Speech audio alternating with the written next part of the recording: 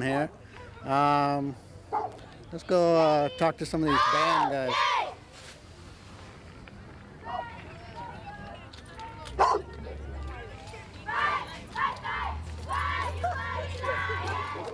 Hey guys, you guys are uh, with one of the bands, I take Yeah, it? we're LMS band. Elements? That's Yeah. the school? Yeah, Lennox Middle School. All right, what, what's your name? Um, see who's gonna talk to us. Tiffany? and you're going to be in the parade? Yeah. Okay, and uh, what is your costume here? Mm, just Mexican. Okay, what, what does anything represent here? Um, here are the bullets, and that's it. That's pretty much it. And since it's Cinco de Mayo, do you know anything about Cinco de Mayo? How it came about? Not really. Not really. And where'd you get this this hat? What do they call a hat? Um, I don't know. All right. Hi. I see you got like same kind of costume. What's your name? Zero. And do you know do you know anything about Cinco de Mayo? No. No. How about you? Mm, my name is Jorge.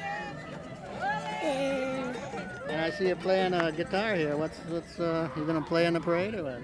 yeah. So you're a mariachi band guy? All right.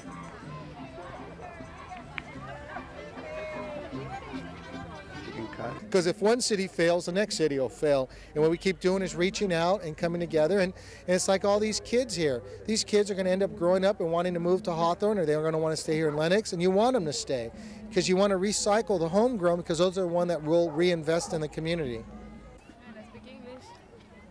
Oh, no English. I don't speak any English either. I mean, I don't speak any. uh, what's your name? Uh, he's a li- he's a little shy, so he's certainly uh, cute looking there, though. He looks like a cowboy. What's your name? Uh, Leonardo Barahona?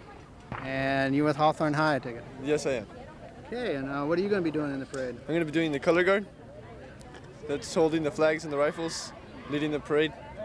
You're going to be out in front. Yeah, out in front. Great, that's uh, quite an honor. Yeah, it is. I'm very proud to be able to do that. torch stuff. Could you give us a little demonstration of, of something, spinning or something? Well, what I'm about to do right now, it's called the quickie, and I have another one that I call it. We make up our own tricks. But gonna- right now, I'm gonna do. It's called the quickie. It's basically real simple. Okay, check it out. I call this one my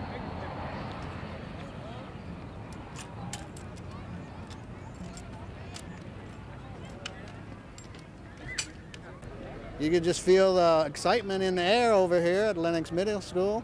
Uh, everybody's gearing up for this parade and uh, getting ready, getting lined up, and we're going to get out there and set up our cameras and uh, just watch the parade ourselves. So this is uh, Paul Rogers for HCTV saying good happy Cinco de Mayo or who knows what it is, Cinco de Mayo. It's a lot of fun, and it was a Mexican battle with the French. We know that, and uh, the Mexicans won, so they they celebrated ever since then. You know, way back whenever it was. So um, we're just gonna go over to the parade now. This is Paul Rogers for HCTV at the Lennox Middle School Parade, Cinco de Mayo Parade. We are in Lennox on Inglewood Boulevard. Parade's about to come, and uh, do see some fire trucks from Los Angeles County Fire Department. I'm here with uh, my cameraman, Paul Knapp, and uh, he might say something in a little bit here. So what do you think so far, Paul? Well, you know, it just started, so uh, some nice looking fire trucks. Um, just let them go by. Hope here they have to go to real quick. So, do you get your sunblock on there, Paul? Sure do. Let's see, after the fire trucks. Hi, Hawthorne. We just arrived here at Holly Glen Park, and we're going to go in and check out the Pride Day. They're going to be painting benches and generally cleaning up the park. And so let's just go in and see what happens.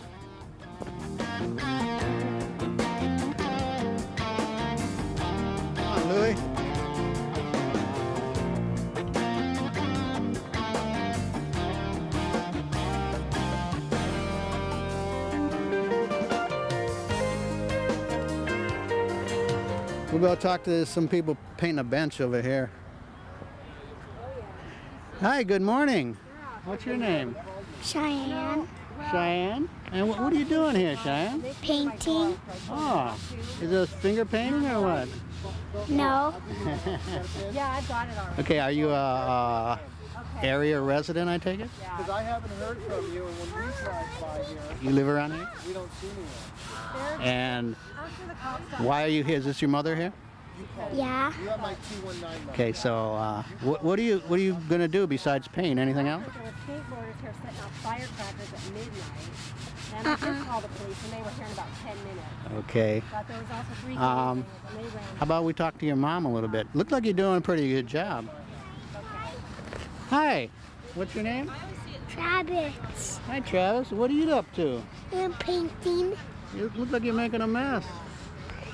What are you doing here this Saturday morning? We're um, cleaning up the Holly Glen Park, And painting? And painting the benches, the walls, getting rid of the graffiti, just basically cleaning up years worth of damage to the park. Oh, you're doing a good job. Thank you. Um, are you a community activist or just a, a concerned, concerned neighbor. Yeah, my children play at the park and I want them to have a nice play place. And we talked to your two kids a little earlier, yeah. so y'all gonna be famous on TV. Yeah, hello. Um, so are you at the park often, or, yeah, we come every day, pretty much. My kids play here. and what kind of stuff do they do? Oh, they play on all the equipment and just ride around, and it's a great little park. We want it to stay nice. And have you ever? Are you a painter? Do you know how to paint, or Thing just? about pay- Looks like you guys are doing a good job. Uh, we're giving it our best shot.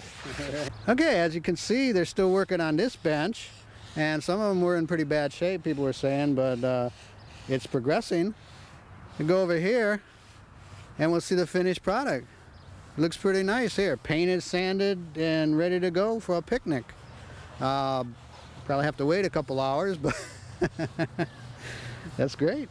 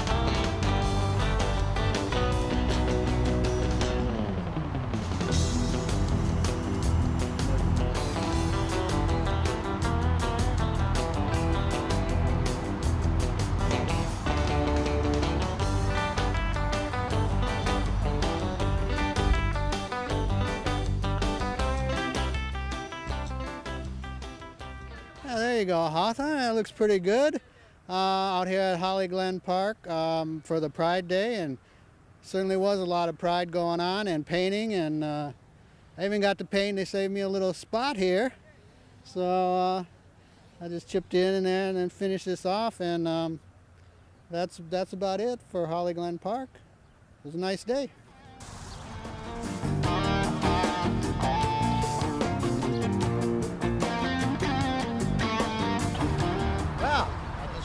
My little bench here, and uh, Mayor, Mayor uh, informed me that we're going to put a plaque on the end of it, naming it Paul Rogers Bench.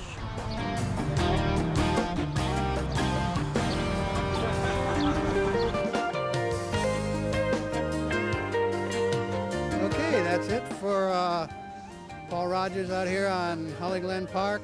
Um, everybody did a good job, a lot of sanding, a lot of painting, and I'm ready to load up the truck, get out of here.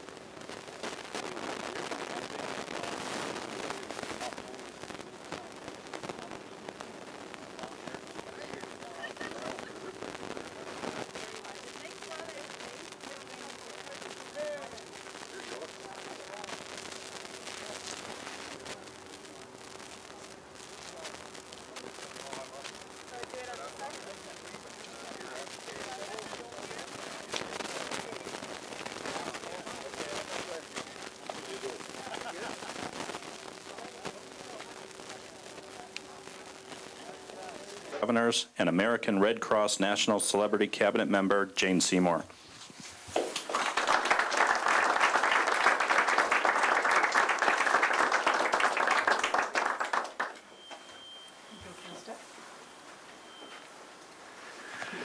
Good morning. Thank you for coming. My name is Jay Rodriguez. I'm a member of the National Board of Governors of the American Red Cross. First, I would like to recognize and thank Dr. Robert Bruce. Where are you, Dr. Bruce? Oh, here you are. Principal of Richard Henry Dana Middle School. And Dr. Don Braun, right here, Superintendent of the Wiseburn School District. Both of these gentlemen have been very cooperative and helped make this event happen and are great supporters of the American Red Cross here at the Greater Los Angeles chapter. And also part of the important effort we're making in this campaign that starts today. This morning we're announcing a trip to Kenya as part of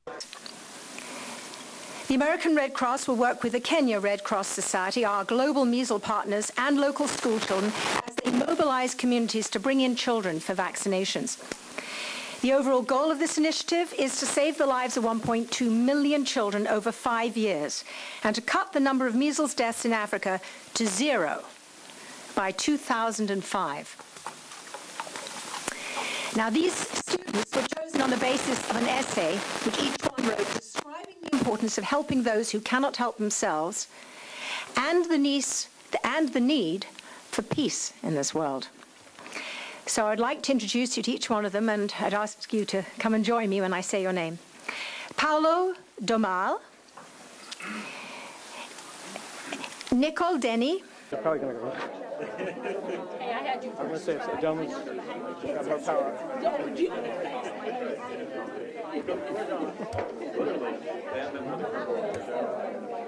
You can tell me you like me better. I can take that back. Okay. I think he knows that. So that's a no-brainer. What your expectations are for this trip now? I am very excited now that I've met these children because uh, these are really young adults. These are really bright, um, wonderful kids, and um, I think I'm really going to enjoy being with them and and um, and seeing what we're going to be seeing. I am anticipating seeing a lot of um, disease. I'm anticipating seeing poverty. I'm anticipating, you know, seeing people in a lot of trouble and a lot of need. I'm also anticipating seeing um,